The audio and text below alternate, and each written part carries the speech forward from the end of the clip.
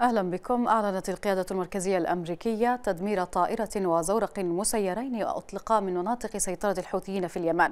وذكرت في بيان أن طائرة تابعة للتحالف دمرت طائرة مسيرة وزورقا مسيرا دون الإبلاغ عن وقوع أي إصابات أو أضرار في السفن الأمريكية أو سفن التحالف.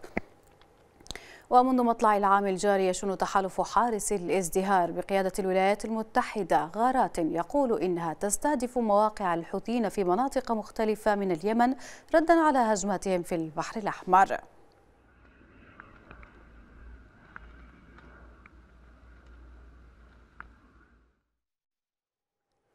قالت هيئة عمليات التجارة البحرية البريطانية إن إحدى السفن المبحرة جنوب شرقي ميناء نشطون بالمهرة تبادلت إطلاق النار مع مسلحين اقتربوا منها على متن قارب صغير. وأضافت الهيئة في بيان أنها تلقت بلاغا عن حادثة على بعد 102 أميال بحرية جنوب شرقي ميناء نشطون وقالت إن القبطان أبلغها عن اقتراب قارب صغير من السفينة حيث تبادل فريقها الأمني وإطلاق النار مع من كانوا على متن القارب. وأوضحت أن ذلك أجبر المسلحين على مغادرة المنطقة دون تحديد هويتهم مشيرة إلى سلامة السفينة وطاقمها. ولم تحدد الهيئة البريطانية الجهة المالكة للسفينة كما لم تعلن أي جهة على الفور مسؤوليتها عن الحادثة.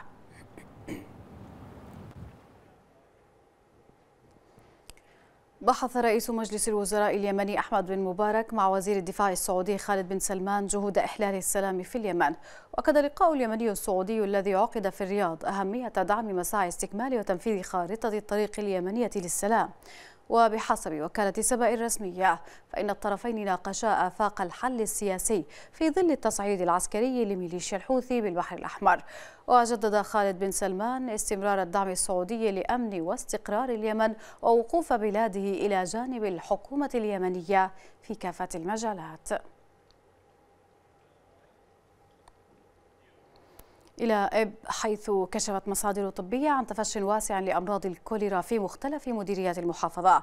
وبحسب المصادر تستقبل مشافي المحافظة أعدادا كبيرة من المرضى بالإسهالات المائية منذ أسابيع. ويأتي هذا الانتشار في ظل انهيار القطاع الصحي وسط تفشي العديد من الأمراض وخاصة أوساط الأطفال.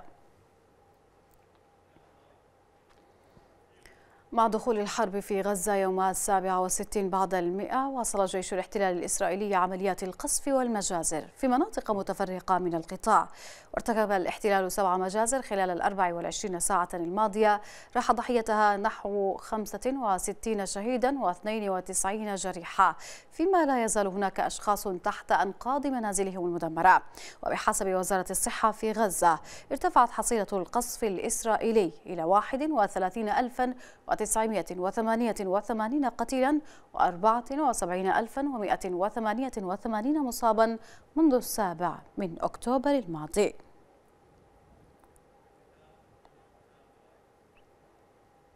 نهاية الموجز إلى اللقاء.